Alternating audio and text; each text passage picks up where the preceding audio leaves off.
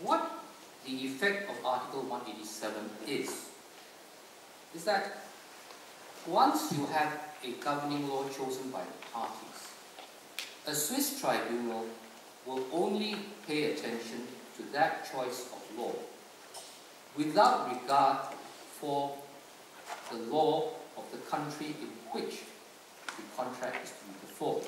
That is different from English public law rules because um, I think we know, in fact, we look at the slide above, uh, slide 27, uh, under cases like Foster and Driscoll, Ralli Brothers, and so on, a contract that's governed by Singapore law or English law, um, but it's to be performed in a foreign country, can still be nullified if the foreign country uh, prevents the performance in the way that the parties have agreed. In other words, foreign uh, law being the place of performance will trump governing law simply because that's where you have to go and do your, your stuff. And um, that can be overridden uh, by a mandatory law in the place of performance. But the Swiss don't care. Uh, the Swiss only pay attention to the governing law and the seat. And so if you have a Swiss tribunal apply Swiss law, they don't look at any other law than the choice of law.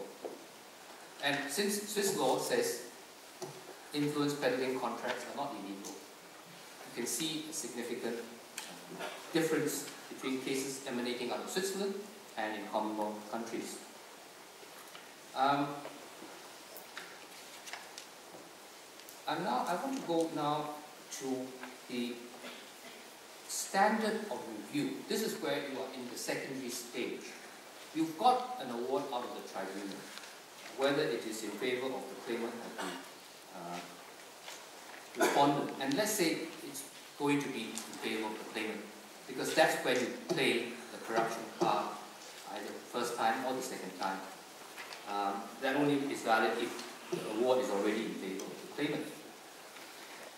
Here, what happens is that you have to, it all depends on uh, which country you get into.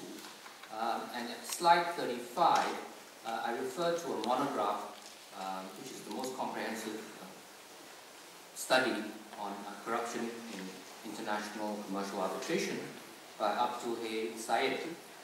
Um, and Dr. Sayed says that there are three judicial attitudes on scrutiny of awards on the grounds of public policy. There's minimal review, maximal review, and contextual review.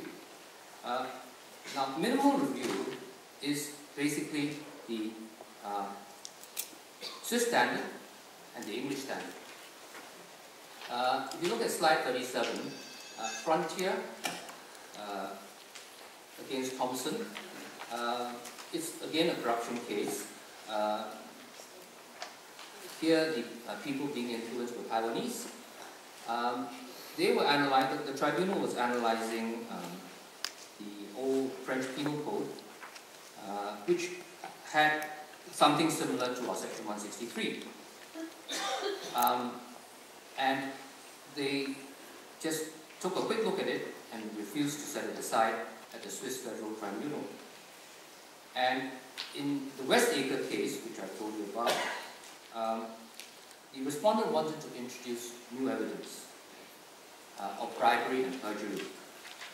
But what uh, Justice Colman said uh, was this was new evidence, but not fresh evidence. So the test in England is that you must bring in fresh evidence, which means not just that it was not evidence that had not been heard in the tribunal below, but it was evidence that was not available to you at the time, so that you could not have produced it before the tribunal, and that it would make critical difference to the outcome.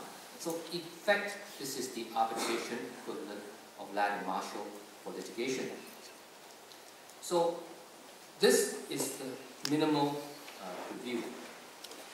As against that, you have maxi maximal review uh, at slide 40, which is that you have a total scrutiny of the award. Once you raise corruption, bang, all the, light, all the bells start ringing, and the court says, right, rehearing.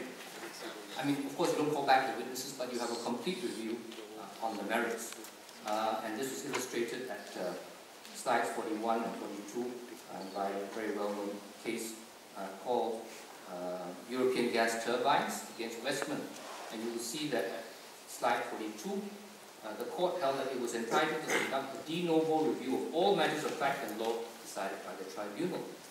Now, the interesting thing is that if you go to slide 40, um,